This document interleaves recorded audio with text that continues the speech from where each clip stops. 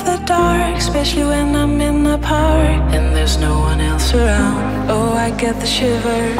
I don't want to see a ghost. It's the side that I feel most. I'd rather have a piece of toast and watch the evening news. Life, oh life, oh.